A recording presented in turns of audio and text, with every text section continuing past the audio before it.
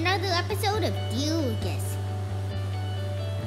Hello Bill asked me what's my Fortnite name. I don't even play Fortnite.